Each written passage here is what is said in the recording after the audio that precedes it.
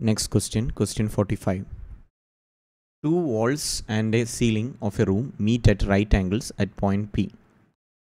Um, a fly is in the air 1 meter from one wall, 8 meter from other wall and 9 meter from the point P. How many meters is the fly from the ceiling? So I'll just draw, I'll try to draw a 3D figure. Okay. Uh, so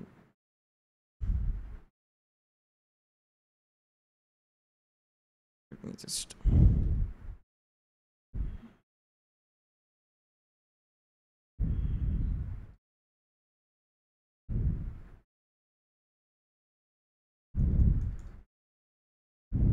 okay uh, this is this is wall 1 this is wall 2 uh, again you can see this area.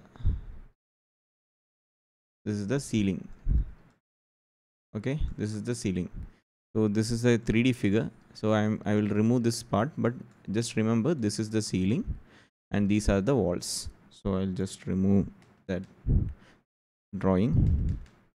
Uh, so we don't need that ceiling. Just just remember this is the ceiling and uh, what is given? A fly is in the air one meter from one wall so if you draw parallels this is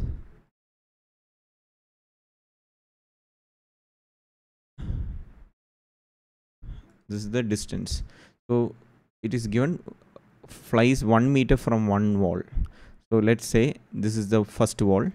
So it is one meter from first wall and nine meters from this wall. So this is this is perpendicular okay? So 9 meters from this wall mean this distance. This distance is 9 meters. So we write 9 meter here. Same. So that is the 9 meter and sorry 8 meters. It was given 8 meters my mistake uh, this is 8 meters so this is also 8 meters 8 meters from a, and 9 meter from point P. So this is the point where ceiling and the walls meet P. So if this is the point, uh, this is where fly is fly. So it is given this distance. This distance is the distance from point P, which is given as how much? 9 meter. So now as you can see i will use different colors. This is a right angle triangle. We know 9 meter uh, and we don't know this this distance. And again this okay. Sorry. This is again a right angle triangle. Okay. This is a right angle triangle. And here it is a right angle like this. Okay. So yellow right angle triangle is like this do separately this is 8 meters and this is 1 meter so this distance you can um, uh, uh, you can use Pythagoras theorem. Uh, This is root of 8 square plus 1 square.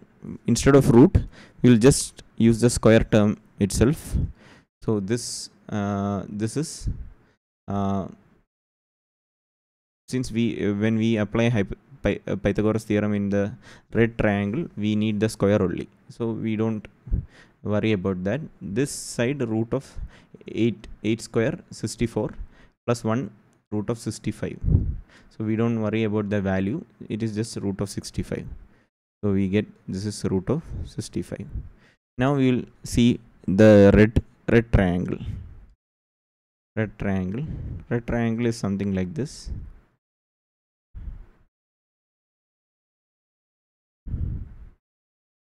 this is 90 degree. And we got this as root of 65 and this we uh, this is the distance from the ceiling. If you if you remember uh, I'll just draw once more.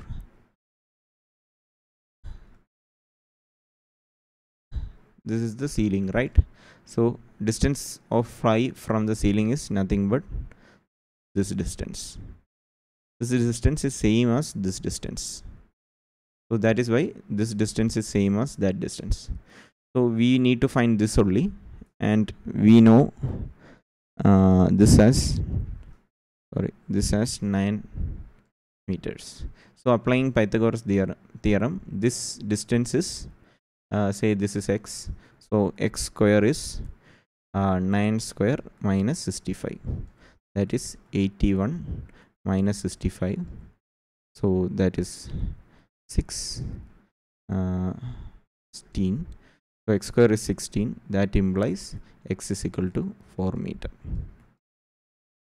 So the solution is a 4 meter. So solution to question 45 is A 4 meter. So this is a simple question but you need to you, you should be able to visualize it. Uh, visualize a 3D uh, area and uh, draw the proper triangles and apply the Pythagoras theorem. The only theorem used in this question is Pythagoras theorem which which says if we have a right angle triangle and these are the sides uh, then that c square is equal to a square plus b square. This is the only theorem we used in this question.